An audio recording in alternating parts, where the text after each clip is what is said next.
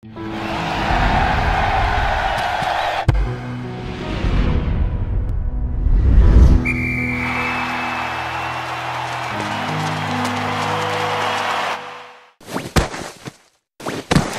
めてもらえませんか？汚れるんで。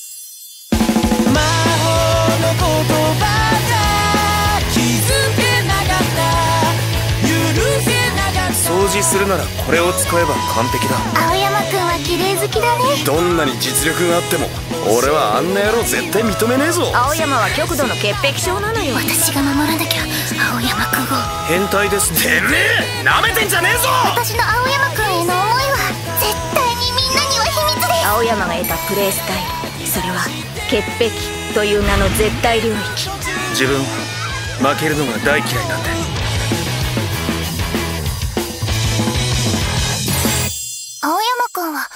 潔癖男子でした。